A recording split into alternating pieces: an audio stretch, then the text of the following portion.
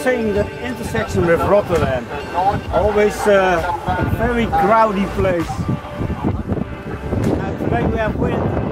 We can cross easily, but look at them go there. Behind the yellow one and behind the red and blue one.